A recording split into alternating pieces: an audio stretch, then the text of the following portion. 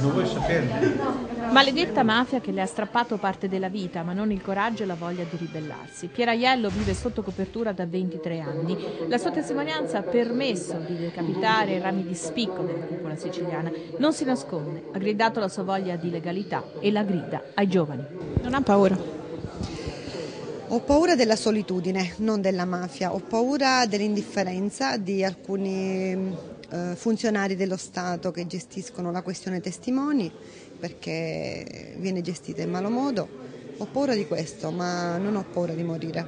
Perché ha scritto il libro? Per far sapere quello che abbiamo fatto e come lo abbiamo fatto e come continuo io a farlo per avere un piccolo input di essere cittadini onesti.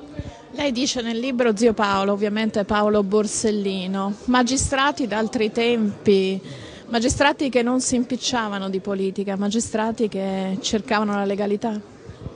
Diciamo che quei magistrati hanno fatto del loro mestiere delle icone di vita, persone da ammirare che io auguro di incontrare perché sì, sono stati unici, Falcone e Borsellino unici, però penso che ci siano ancora magistrati che lavorano in silenzio perché sapete quando un magistrato fa la cosa giusta come lo era eh, Paolo Borsellino vengono isolati vengono maltrattati e messi da parte. Ne abbiamo tanti bravi magistrati in Italia che non vengono neanche calcolati. Che ricordo ha di Paolo Borsellino un ricordo personale che può raccontarci eh, io lo ricordo più che come un magistrato, come un uomo di un carisma unico, una persona, eh, un padre, un padre di famiglia che ti dava coraggio giorno per giorno, una persona che ti diceva di non mollare, una persona che ti diceva fai in quello che credi, eh, una persona che veramente non ci sono aggettivi per definirlo, direi che è una persona splendida.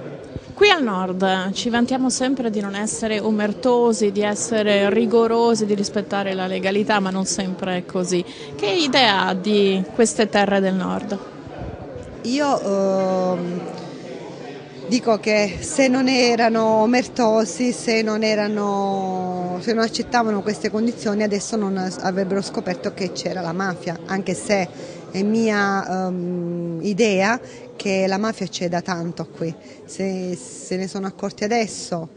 I giovani hanno passione per la legalità, sono la nostra speranza? I giovani sono, io non amo dire il nostro futuro, sono il nostro presente e dopo il nostro futuro. Eh, sono fortunati perché adesso, diversamente da vent'anni fa, se ne parla. Prima nelle nostre scuole non si parlava sicuramente di mafia, non si parlavano di tutte queste cose.